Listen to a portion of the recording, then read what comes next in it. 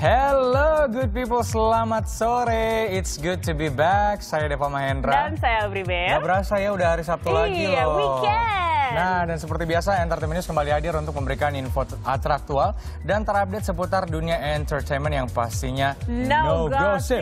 Langsung nih ya kita lanjut ke berita pertama Dev. Ada siapa Hmm. Dev? Nah, banyak hal yang tentunya dapat menjadi inspirasi dalam berbisnis, seperti Sarwenda yang membuka usaha fashion karena terinspirasi dari sang anak. loh. Iya, dan seperti apa nih koleksi dari usahanya yang bernama Sarwenda's Heart itu? Ini dia People. The.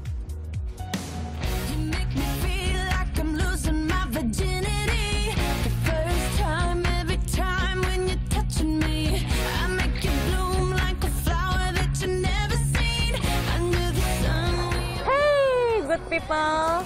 Thank you udah datang ke booth aku. Sekarang aku mau ngejelasin nih, SW Heart ini adalah em, fashion line aku terinspirasi dari pada saat aku hamil Thalia. Jadi pengennya gimana sih caranya supaya bikin baju kompakan sama anak, sama ayahnya gitu. Dan kan kalau misalnya di luar susah nyarinya, jadi akhirnya aku bikin sendiri.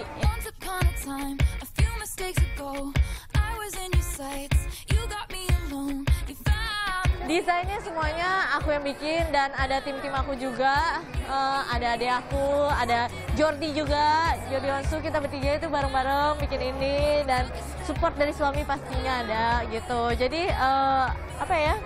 Desainnya juga kita, pilih bahannya juga, semuanya juga. Nih, Puri Dress.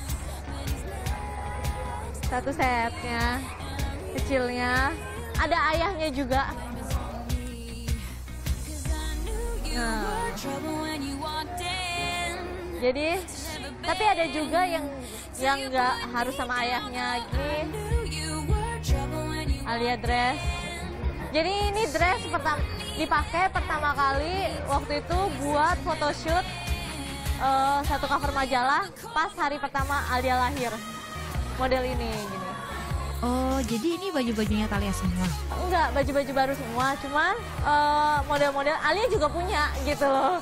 Jadi aku juga bikin buat aku sendiri, tapi karena aku pakai dulu gitu, maksudnya nyaman gak? Aku nggak mau misalnya orang lain pakai ternyata nggak nyaman, aku nyobain dulu sendiri, aku pakai sendiri, baru abis itu eh, aku udah suka, serak nih kayaknya nyaman, baru aku jual, aku bikin lagi gitu. Terus eh, ini kan ngomongin fashion, kalau misalnya sekarang ini aku ada juga lapis Madame Rose. Ini sebenarnya handmade kue lapis mami aku. Jadi sekarang kita tuh lagi pameran bazar gitu. Tapi tunggu tunggu tunggu bentar ya. Tunggu bentar good people, ada yang mau beli. Mau beli apa? Bu?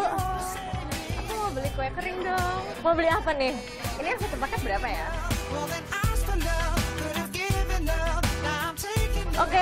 Langsung hitung-hitungannya sama ibu ini ya di sana. Makasih. Aku lagi satu. Oke good people, thank you udah ngikutin aku hari ini di booth bazar aku dan semoga semuanya laris gitu. Thank you ya. Bye.